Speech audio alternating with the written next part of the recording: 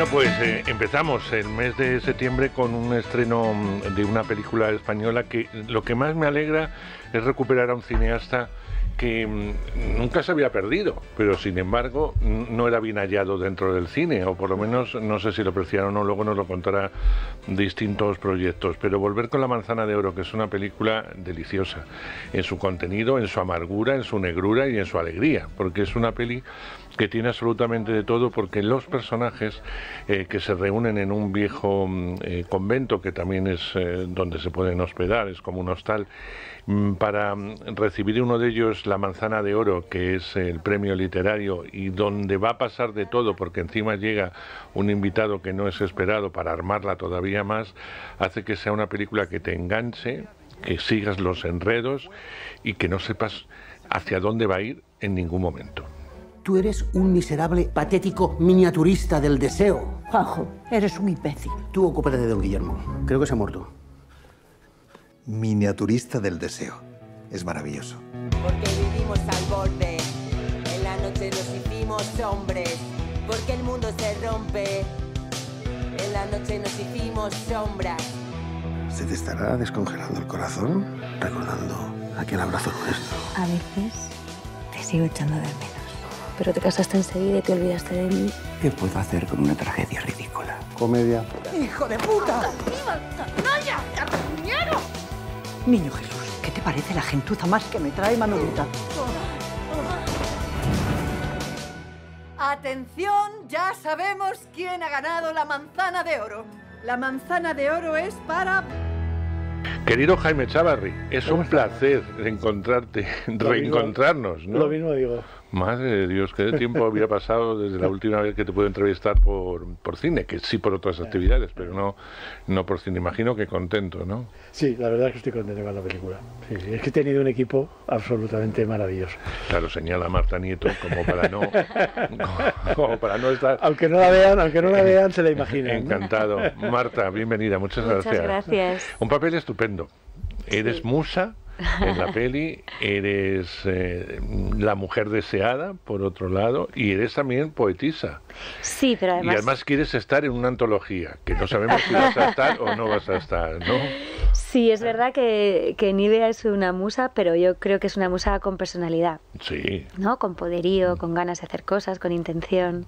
Una musa reinventada, o sea, no paralizada. Reinventada, me gusta, me gusta eso. Y, ¿Cómo llega la idea de, de- de adaptar este, esta novela de Oramuro? Pues mira, llega a través del co-guionista, José Ángel Esteban, que había hecho ya conmigo, bueno, que yo no había hecho el guion de Besos para Todos, pero que era uno de los guionistas. Nos hicimos amigos, nos llevábamos muy bien. Entonces él conoció a un productor de Valencia, Mario del Real, que quería hacer una película y quería hacer eh, esta novela en concreto. Le parece que era una idea para una película, para una especie de comedia negra, ¿no? que es lo que... Y entonces, bueno, hablaron conmigo, a mí me gustó mucho el proyecto, y empezamos a escribir el guion y al final hicimos la película, cosa que no siempre pasa. No. ¿Por qué tanto tiempo? ¿Por falta de ofertas? ¿Porque no te ha interesado Eh, demasiado? Pues mira, por muchas cosas. Primero porque yo era un era un, soy un director que siempre ha sido un director de productor. Yo soy un director de encargo. Mm. Y cuando se murieron mis productores, pues ya eh, yo no tenía proyectos propios. Y entonces tuve la enorme suerte, y eso nu- nunca lo, nunca lo agradeceré demasiado, que cuando todavía estaba trabajando me salió una vocación nueva, que era la enseñanza. Y entonces he estado dedicado estos años encantado, la verdad es que echando de menos el cine muy poquito, porque hacía algo de teatro que me gusta igual o más, y he estado dando clase, cosa que, y sigo dándola, cosa que es para mí una, una no una segunda carrera, sino una carrera paralela. ¿Y cómo ha sido la vuelta al cine? ¿Ha cambiado mucho? Muchísimo. Sí. Muchísimo. Una parte de lo digital, claro. Sí, no, eh, pero eso, eso ha sido de menos, eso, eso lo asimilas enseguida. Me han gustado muchísimo, muchísimo los equipos. O sea, creo que hay tanto el técnico como, como el artístico. Hay, siempre ha habido buenos equipos, siempre ha habido buenos actores aquí. ¿eh? Pero lo de la experiencia con este equipo en concreto, que era una película complicada de hacer, complicada de llevar y que había que rodar muy deprisa, la experiencia de la complicidad y del afecto y el, el amor, te diría, por la película que he sentido todo el tiempo con el equipo ha sido muy emocionante. Muy emocionante. Marta, y tú te encuentras con Jaime Chávarri, Y yo me del que encuentro. tenías referencias, claro, como todos Nos conocíamos. Sí, nos Y conocíamos un poco, pero es verdad que yo le admiro mucho antes de conocerle. ¿Y Sí. cómo ha sido el encuentro? Un lujazo. La verdad. Para mí ha sido un regalo total y yo ya lo quiero en mi vida para siempre. Me gusta mucho, es un gran conversador además de un gran cineasta y un hombre muy inteligente y muy divertido. Entonces eh, ha sido muy fácil trabajar con él y espero que, haya más ocasiones.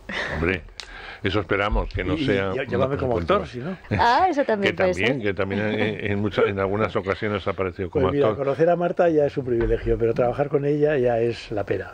Sí, es, una actriz todoterreno. pero es una, es una mujer fantástica. Una actriz todoterreno, además.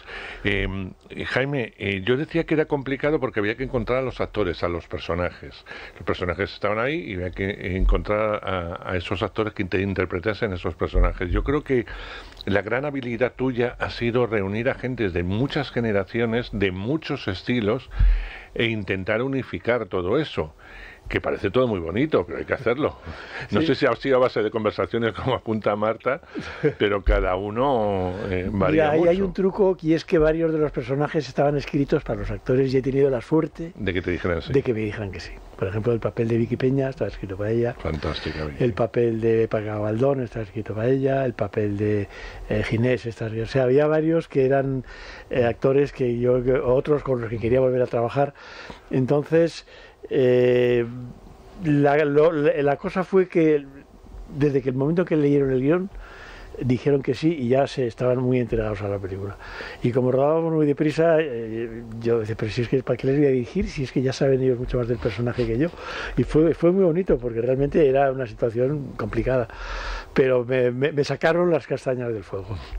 Em, el personaje de Marta está en muchas de las tramas de, la película, porque hay otros que tienen las tramas muy claras, se mueven todos, claro, pero tú estás en muchas de las tramas, de, muchos personajes. La de Sergi, por poner un ejemplo que es muy divertida, cuando alguien hay que decirle que ya no, y aunque no lo entienda, es ya no. La de la apertura a nuevos amores la apertura a gente que no te pega nada, pero que puede pasar, ¿por qué no?, una noche contigo. Y y ese eh, sentimiento oscuro que siente por ser mujer y no ser incluida en una antología que parece que solamente está dedicada a los hombres. Y a mí me parece que ahí está el conjunto de un personaje muy rico.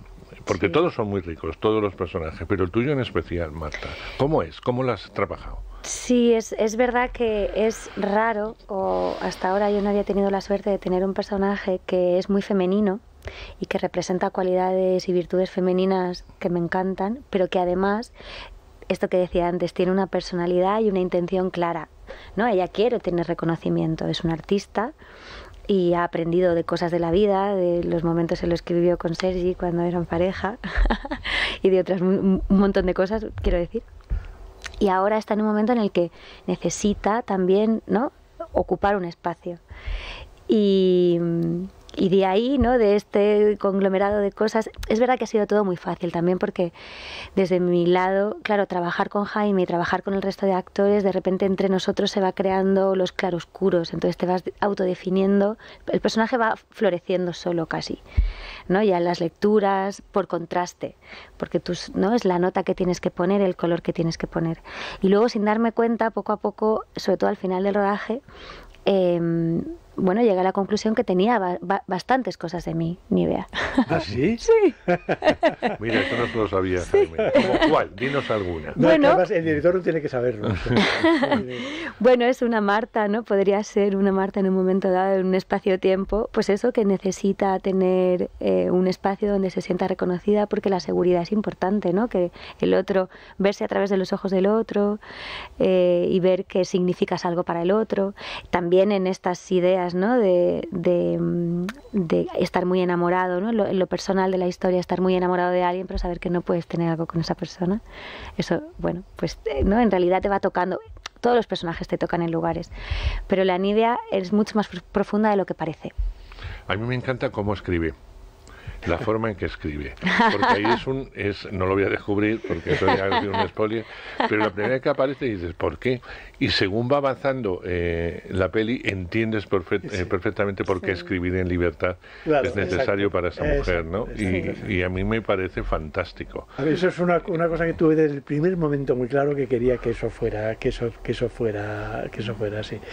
A mí me, me, me daba mucho miedo la actriz de la Nivea porque pensaba que nadie lo iba a querer hacer porque a mí me parece un papel precioso, de, de hecho me parece el más interesante de la película, pero al mismo tiempo es el único personaje que no tiene una gran escena. Y eso muchas veces a las actrices les dices, pero es que no tengo mi escena.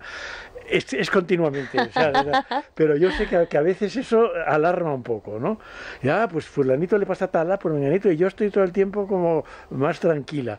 Digo, a ver si esto no lo. Y luego no, luego la verdad es que, que cuando lo leyó Marta se, se quedó encantada y fue a ver al teatro, fui a ver al teatro, me encantó, y ya no, ya no, era incapaz de pensar en cualquier otra Nivea, o sea, ya no había...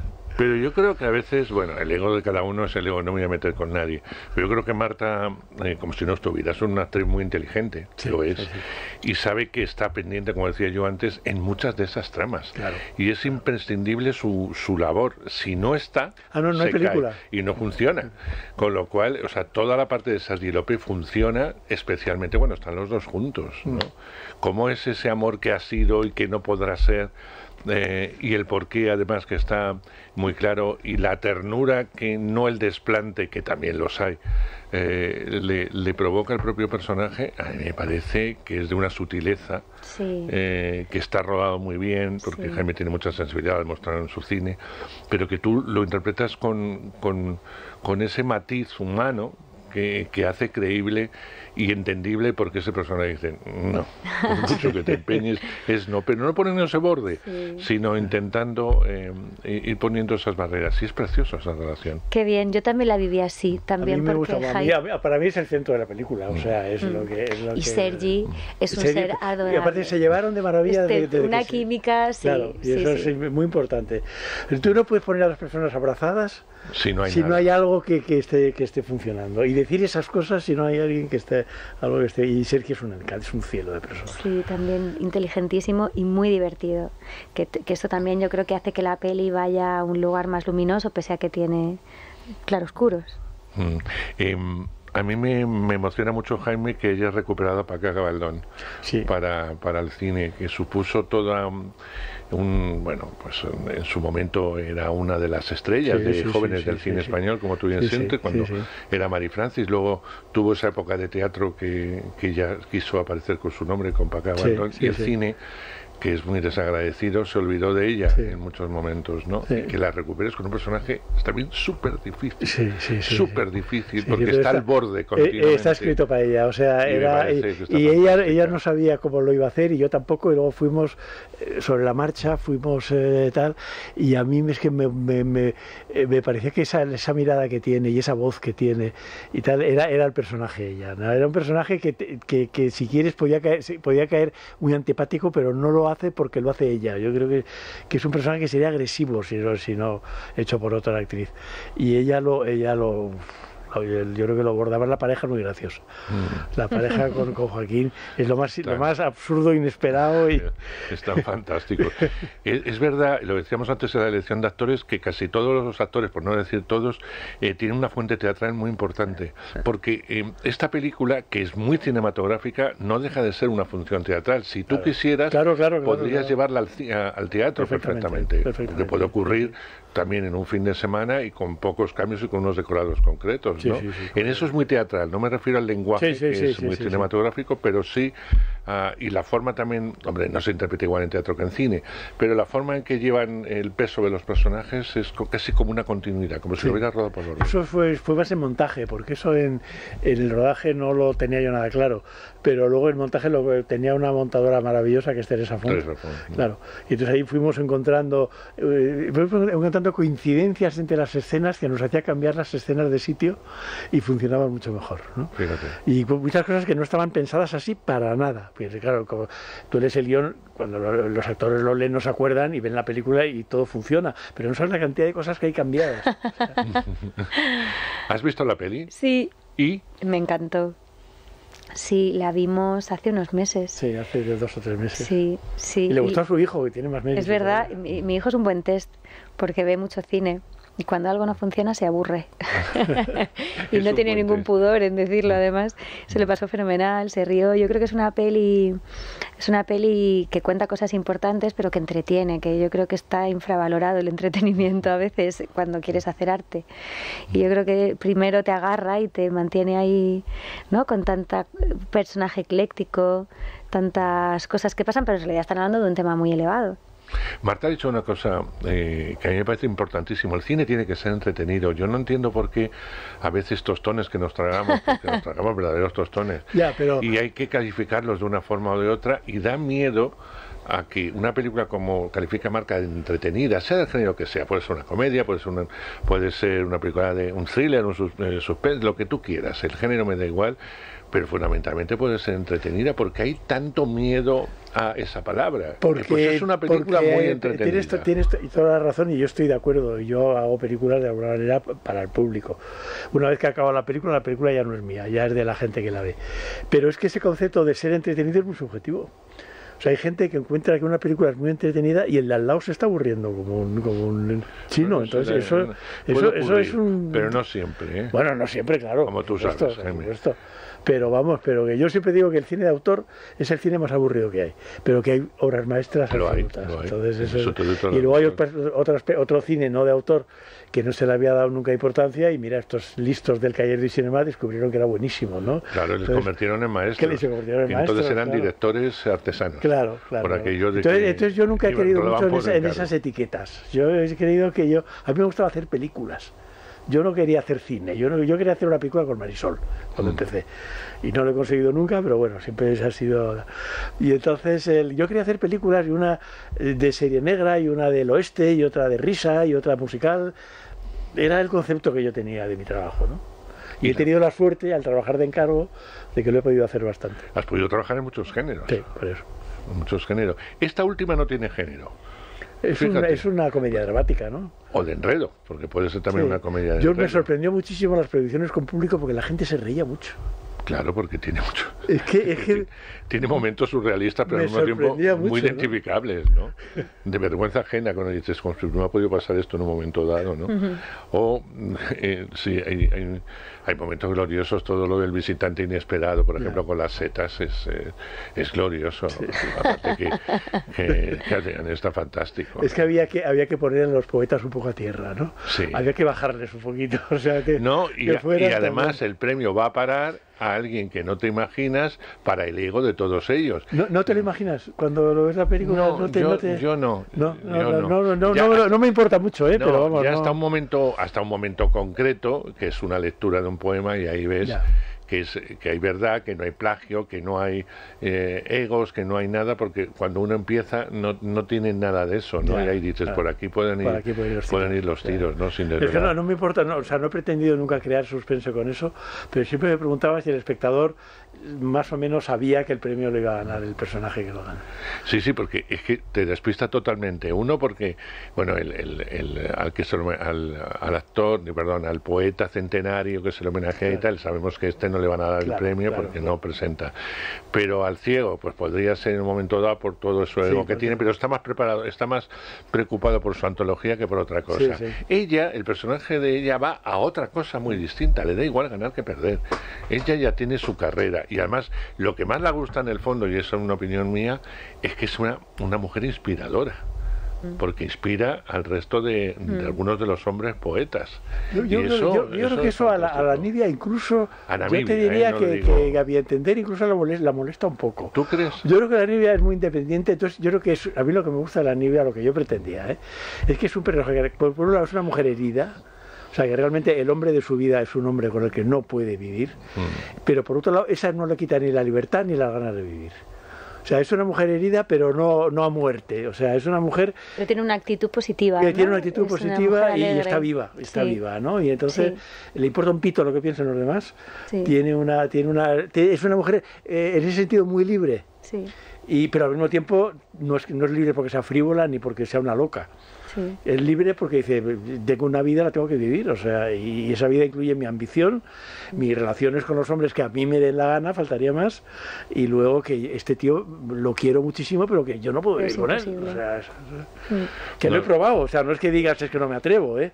Sí, sí, sí, que No es que no es que no es que no me se atreva, es que ya lo ha probado. ya sabe que, no puede por ahí. Lo, lo bueno es que este este personaje que es un alcohólico que se arrepiente continuamente de beber, pero bebe continuamente, es un personaje está fantástico Sergi porque es muy contradictorio y ahí provocará las risas de, de muchos espectadores. No, pero hay cosas de humor muy sutiles que la gente se ríe de repente y se ríe mucha gente a la vez y es cosas con tonterías de la monjita y de la y de la directiva y de Vicky y tal. Claro, son bobadas que la gente se sí, ríe. pero que dicen unas cosas tremendas como se chantajean la una a la otra. Sí, sí, sí, Ese chantaje permanente a lo largo de la película me parece. Con el obispo y con los lagostillos. Claro, es, es un tantazo, ¿no? Eh, o sea, que la propia monja le diga, pues atrévete, mujer. en fin, que todo eso lo vais a ir descubriendo en La Manzana de Oro. Estamos viviendo un momento, Marta, sobre todo en tu caso, en que vas a estrenar a la vez otra película, como es Salta, eh, tienes pendiente eh, fuera de España eh, estrenos en el mes de, de, septiembre y bueno, a veces el cine tiene esas casualidades para vosotros terribles, porque se os junta absolutamente todo, pero al mismo tiempo maravilloso porque se puede ver ya vuestro trabajo, con lo cual imagino que ha sido un buen año cuando todo te llega de golpe. sí, sí, sí, totalmente. Es verdad que cuando ruedas eh, nunca esperas, aunque ruedes seguido, nunca esperes que nunca esperas que todo vaya a la vez. Pero forma parte del juego también. Y hay algo bonito incluso, ¿no? En ir al cine y de repente estar en dos o en tres pelis ese mismo fin de semana es divertido. Eh, y poco puedo hacer yo, que al final, cuando eres actriz, pues pero sí es verdad em, que tienes la suerte hasta ahora, y espero que te dure siempre, de que no te dan personajes similares, sino son personajes muy distintos. Yo cada vez que voy al cine me sorprende cada vez más, es decir, mm, ¿cómo va a ser el personaje de Marta? No, estás, eh, no está es verdad. No está encasillada. No está encasillada, no tiene un estereotipo claro de pues va a hacer de esto, va a hacer del otro, va a hacer. No, no. Ella hace un personaje que además suelen estar muy vinculados a la llamada vida real. Y yo creo que eso es hermoso, o que la gente piense ti y te vea. Eh, me refiero a los profesionales, directores, etcétera. Te vean de distintas formas, a ti como actriz te tiene que. sí, es una suerte. Es una suerte porque es verdad que a mí me gusta asumir retos y hacer cosas que no he hecho antes. Mm. Entonces, tanto trabajar fuera de España como trabajar aquí eh, con diversidad en teatro, en cine y en papeles distintos, eh, espero poder seguir haciéndolo siempre, la verdad, porque hay algo que, mm, que, tiene que ver con mi naturaleza de explorar y de hacer cosas, pues eso, distintas. Eh, Jaime, eh, ¿sabes que estamos viviendo una explosión en la tele a niveles de series eh, de todo tipo españolas tremenda, que además se ven en todo el mundo a través de estas plataformas, que la calidad ya no tiene nada que ver, con todos mis respetos a las sitcom que se llamaban de hace, de hace algunos años, no se cuenta con los mismos elementos, se cuenta con muchos elementos y somos totalmente competitivos a nivel de guiones, a nivel de producción, a nivel de eh, actoral, etcétera. ¿A ti alguna vez te ha interesado este tipo de series que se están haciendo para plataformas? Me podría interesar hacer un, un piloto, pero no más. Yo no, no te no, no, me interesa. Yo no puedo estar eh, un año, un año, un año y medio de mi vida metido en un... No, no, no, me atrae, no me atrae lo más mínimo. No me atrae lo más mínimo. También es verdad que no me, lo, no me lo han ofrecido nunca, ¿eh? pero yo creo que lo intuyen, que no, que no soy yo muy de ese. Y veo algunas, que, muy pocas, algunas que las he disfrutado mucho y me parecen estupendas, pero en general si empiezo a ver alguna, generalmente al primero o segundo capítulo lo dejo. No, no, prefiero ver cine, prefiero ver el cine es un formato que domino y que además sé que si ha salido mal, ha salido mal, pero que no me van a engañar durante 77 capítulos cuando ya la serie se acababa en el número 14, que mm. eso me pone muy nervioso. ¿no? ¿Qué, qué, me están contando? ¿Qué, ¿Qué, están haciendo? O sea, están aprovechando algo que pasa un poco con el cine también con las secuelas, ¿no? Sí.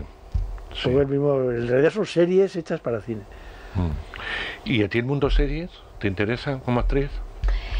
A mí en realidad lo que me interesa es trabajar con gente que admiro.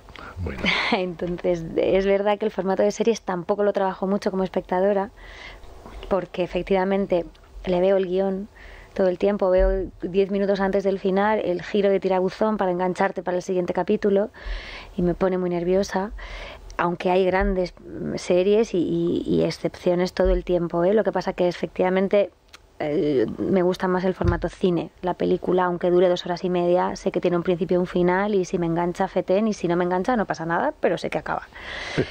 Eh, pero como artista, como actriz, es verdad que mi meta es trabajar con gente que admiro todo el tiempo.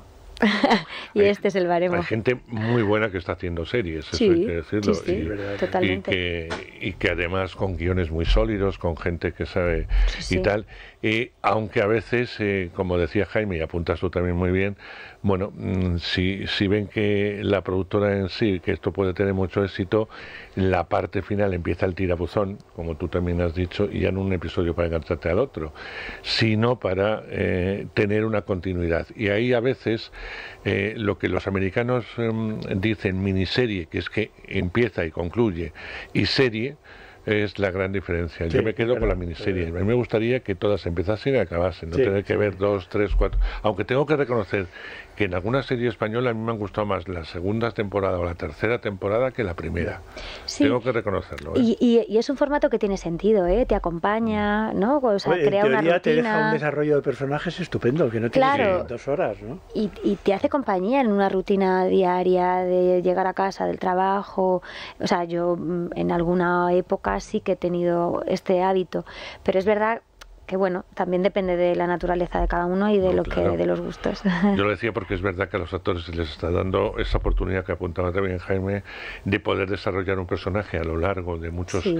eh, episodios y eso hace que, que como actriz, en este caso, eh, te enriquezcas mucho más porque tienes muchos más matices y más tiempo que en una, en una película a la hora de desarrollar, siempre y cuando tanto los guiones como evidentemente la historia merezca la pena. Así que ojalá Marta te ofrezcan todo eso y un director estupendo que diga, bueno, pues voy a hacer tele. lo admiro mucho, lo admiro mucho. Entonces lo, lo haré. Le preguntaba antes a Marta, pero no me puedo ir, Jaime, sin preguntarte a ti. Yo no sé si tienes todavía una cierta lejanía de la peli para juzgar la peli. ¿Era la peli que tú querías? En cualquier caso es una peli que me gusta. Eh, vamos a ver, hubo que hacer muchísimos cambios, cogimos el COVID, eh, hubo que hacer cambios de guion sobre la marcha, eh, no, había un- no, no- no había posibilidad de tener un día más para sustituir los días que habíamos perdido, fue muy complicado, pero yo creo que al final los remiendos funcionaron y yo estoy muy contento con la película. Si te ponen el caramelito de nuevo para hacer cine, dirías sí. Por supuesto. Pero yo, yo nunca, nunca he dicho que no, en realidad. Lo que pasa, fácil. Lo que pasa es que, que- que yo estoy muy bien en mi casa leyendo. O sea, que tampoco tengo Y con tus alumnos, que ya lo y con mis alumnos, por supuesto. Pero que yo el ocio no lo tengo, no, lo- no es una cosa que me preocupe. Yo he hecho muchas películas, eh, me he ganado muy bien la vida con el cine y la verdad es que he tenido una, una suerte absolutamente fabulosa, fabulosa. Y mira, si he hecho, a- he hecho que la gente se, pues lo que decía, se haya estado entretenida con muchas de mis películas, pues lo agradezco infinito. O sea, me estupendo. Pues yo espero que, mm, que vaya mucha gente a ver La Manzana de Oro, eh, que los productores eh, que hay actualmente se sigan fijando en Jaime y que le ofrezcan mm, otra cosa a hacer, a lo mejor puede escribirla o no, eso mm, A mí me da igual eso, tampoco eh, le no tengo, importa no- no demasiado. tengo ningún problema. Ya lo hemos visto en alguna de sus películas, No tengo ningún problema. pero que, mm, que le apetezca y que vuelva a contar con Marta. Pues Porque sí, seguro que seguro, seguro que a ella la, la sorprendes con un personaje distinto y con eso ya la tienes ganada. Bueno, y porque ella como trabajando con persona- él, yo que lo No, que tenemos, con él- tenemos cierta eh, pre- predisposición, o sea, eso está bien. Marta, le deseo mucha suerte a la manzana de oro, pero también se la deseo a Salta, que coincidís en este fin de semana en, en, la en la- en los cines. Lo digo por una cosa, son dos películas muy distintas, se te van a ver en dos registros muy, muy distintos también. Esta es una película adulta, eh, la otra es una película, yo creo que familiar, muy familiar, Muy familiar. donde los niños, sobre todo a la edad del prota, de unos 8 o 9 años, y los adultos, eh, nos vamos a convertir un poco en niños, vamos a ver toda la película a través de los ojos de ese niño, y es una película deliciosa porque es un cuento muy bonito. Así que yo no puedo dejar de recomendarla, que vayáis a verla este fin de semana, y, los más adultos, es decir, pues los que eh, también, también entra ya muy bien. Salta, bueno, voy a ir a ver las dos. En este caso, la manzana de oro, que para eso están aquí, pero que os va a divertir, os va a hacer que tengáis ganas de ver más cine español y que apuntéis Salta, porque también es un buen, un buen título. Jaime, ha sido un honor Te lo Ha digo de verdad. placer enorme, ¿eh? Reencontrarme contigo después de una charla que tuvimos de teatro, pero desde entonces no te había visto. A, a Marta sí la veo como estrena Claro, y claro. hace promo, eh, porque no. Ya está en activo. Porque no creas que, que siempre se la pilla Marta, que, normalmente y afortunadamente tiene trabajo, pero si no, siempre eh, la verdad es que tiene un gesto amable con la prensa. Muchas Muchísimas gracias. gracias, Marta, y enhorabuena, porque eres muy buena actriz, de verdad Muchas que sí. gracias.